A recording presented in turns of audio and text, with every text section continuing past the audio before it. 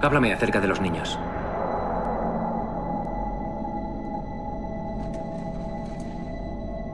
Doctora Halsey.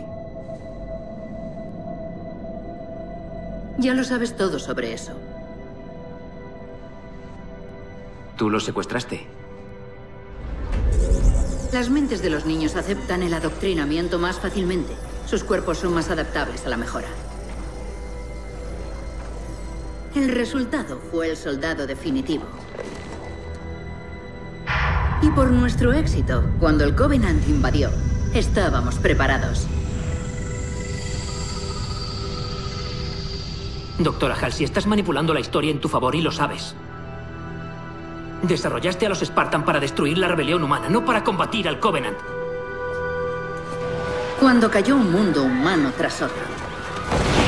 Cuando solo mis Spartans se interponían entre la humanidad y la extinción. A nadie le preocupaba por qué se habían creado inicialmente. ¿Crees que al final tus decisiones estaban justificadas? Mi obra salvó la raza humana.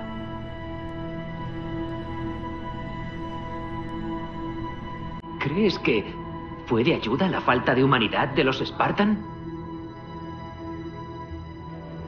Es lo que buscas? Los que vinieron antes que tú eran de inteligencia naval. Pero tú, tú eres otra cosa. Los informes indican que los Spartan exhibían leves tendencias antisociales, dificultades para la socialización y la verbalización. Los informes indican un comportamiento eficiente en situaciones peligrosas. Yo suministré las herramientas para esa eficiencia.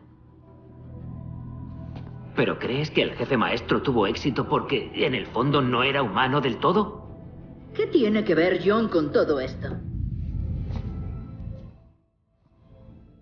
¿Quieres reemplazarlo? El jefe maestro ha muerto. Está desaparecido en combate. ¿Catherine? ¿No mueren los Spartan?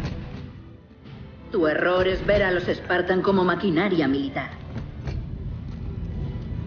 Mis Spartans son el siguiente paso de la humanidad. Nuestro destino. No lo subestimes. Pero por encima de todo, no lo subestimes a él.